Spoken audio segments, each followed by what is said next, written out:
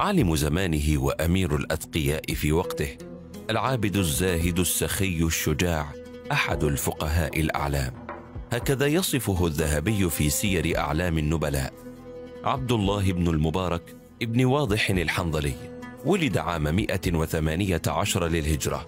أخذ العلم ممن بقي من التابعين وعمل بالتجارة وكان ينفق على إخوانه في الله ويجهزهم للحج. ما رأت عيناي مثل أربعة. ما رأيت أحفظ للحديث من الثوري ولا أشد تقشفا من شعبة ولا أعقل من مالك بن أنس ولا أنصح للأمة من عبد الله بن المبارك. وقال فيه سفيان الثوري إني لأشتهي من عمري كله أن أكون سنة مثل ابن المبارك فما أقدر أن أكون ولا ثلاثة أيام.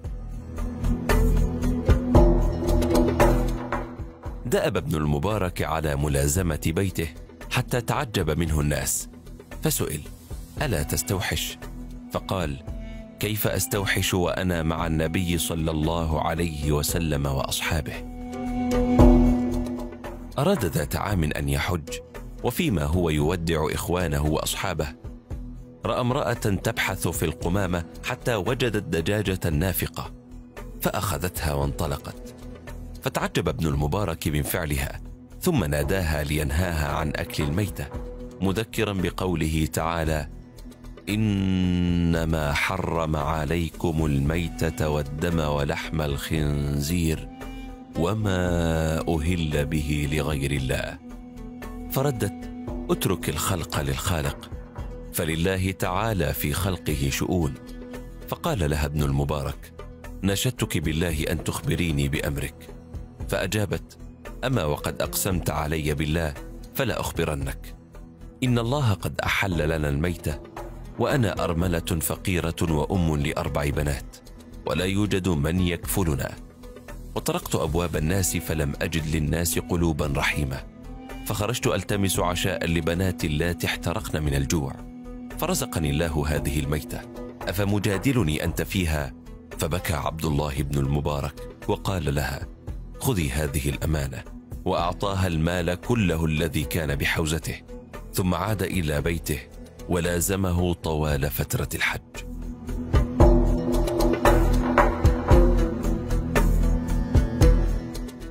يا من تصدق مالا لله تبذله فيه أوجه الخير ما للمال نقصان.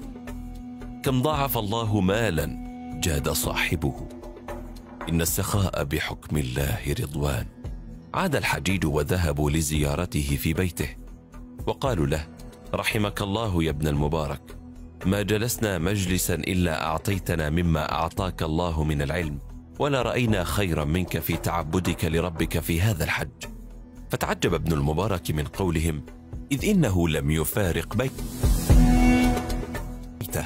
وفي المنام رأى رجلا يشرق النور من وجهه يقول له السلام عليك يا عبد الله ألست تدري من أنا؟ أنا محمد رسول الله. أنا حبيبك في الدنيا وشفيعك في الآخرة. جزاك الله عن أمتي خيرا. يا عبد الله بن المبارك لقد أكرمك الله كما أكرمت أم اليتامى وسترك كما سترت اليتامى.